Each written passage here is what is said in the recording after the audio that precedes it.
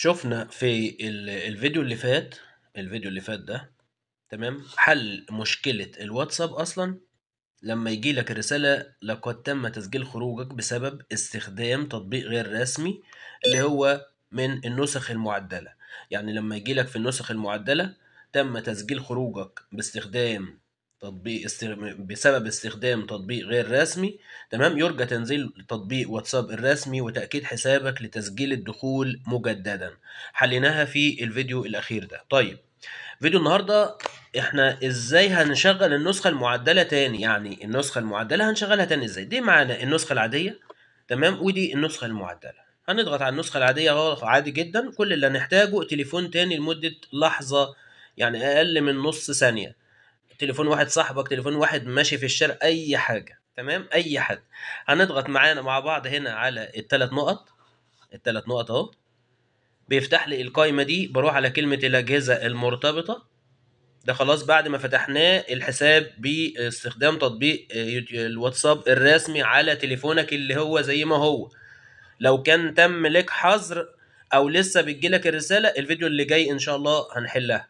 تمام؟ بس هو الحل دلوقتي إحنا حليناها المرة اللي فاتت أو الفيديو اللي قبل ده لو ما لو شغلته بالطريقة اللي إحنا عملناها بالظبط. يعني ما, ما عندكش أصلا حظر ولكن هي النسخة المعدلة وقفت. النسخة المعدلة وقفت معاك. بس هي دي كل الحكاية.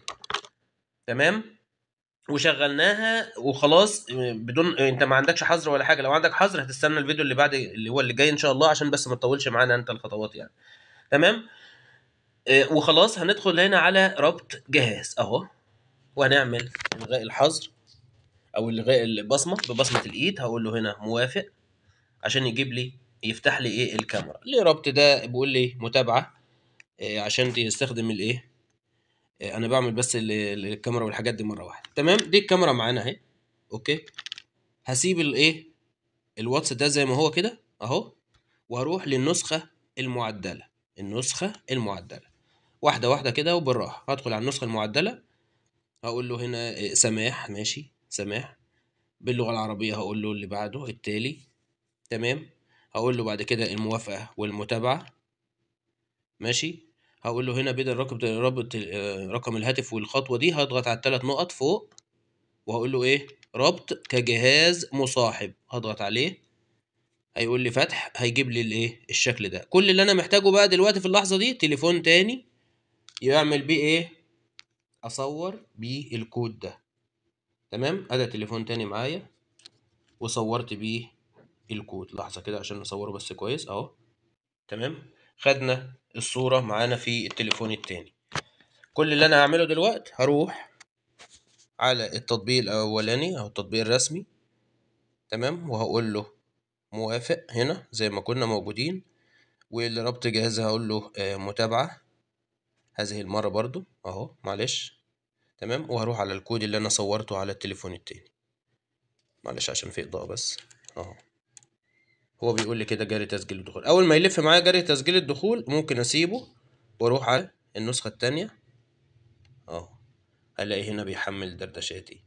تمام؟ هل تريد السماح ده, ده هنا بقى هنعمل إيه؟ هنعمل سماح بالإشعارات. في ده في الحساب ده اللي هو النسخة المعدلة. تمام؟ ده ده النسخة بس المعدلة أو دي خطوات النسخة المعدلة. هي فتحت معايا أهو. تمام؟ أنا هروح بقى كده خلاص فتحت معايا. هروح هنا في النسخة دي في الواتس ده. خلصنا هو فتح معايا أهو. أندرويد بقى شغال معايا. الفكرة بقى كلها إن أنا في الواتس ده هضغط عليه ضغطة مطولة. وهضغط على علامة الاي وهقول له رفض الايه التنبيهات. يعني الإشعارات بتاعته تتقفل. أهو بدل ما هي هي بتبقى مفتوحة هنا مثلا أنا بقفلها. تمام؟ يبقى الاشعارات ال- الواتس الأساسي ده أنا خلاص ما عادش ليا دعوة بيه ولا بفتحه ولا إيه ولا بشتغل عليه خالص. تمام؟ وهشتغل على إيه؟ على النسخة التانية دي وخلاص بس. مش أكتر من كده. اللي هي النسخة اللي إيه؟ اللي فتحت معايا اللي هي المعدلة. بس. بس دي كده النسخة المعدلة معايا مفتوحة والإضافات بتاعتها شغالة ومفيش بعد كده. تشغلها زي ما هي أنت عايز يعني. أوكي؟ ده كل الموضوع. الموضوع بسيط جدا.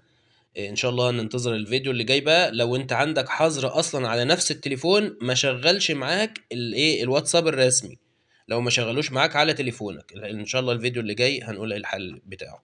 في أمان الله أي سؤال سيبه في التعليقات تحت أمر الجميع. السلام الله عليكم ورحمة تعالى وبركاته.